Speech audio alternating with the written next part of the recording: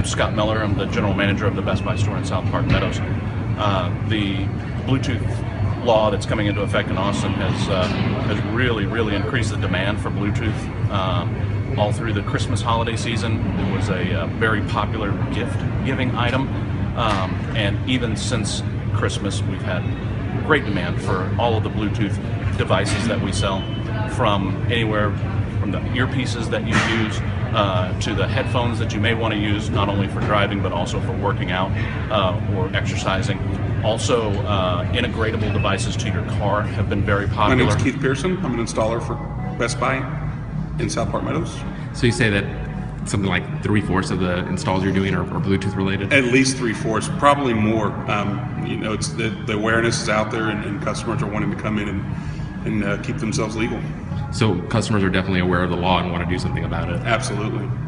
And uh, I mean, what are some of the solutions? I mean, some of it is connecting directly to the car or clip-ons. Yeah, um, the most common solution is to just change the radio out for a, for a whole new radio that has Bluetooth connectivity. Um, in some of the newer cars, we can integrate a module to allow Bluetooth to work inside the vehicle. Um, and in older cars, uh, like I said, the most common the most common solution is to change the radio out. We also offer the um, the visor clip mounts, which are the cheapest solution, but not necessarily the best solution. But it will keep you legal. integratable devices to your car have been very popular.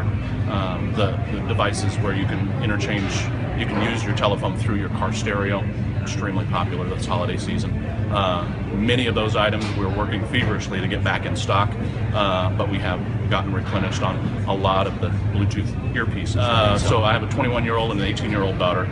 I gave Christmas gifts to both of them on uh, for Bluetooth earpieces.